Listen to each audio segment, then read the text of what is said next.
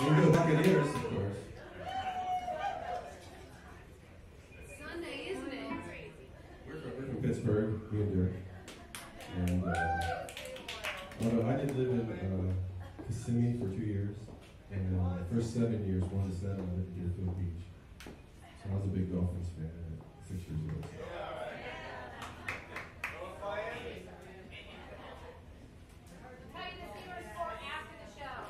Tell you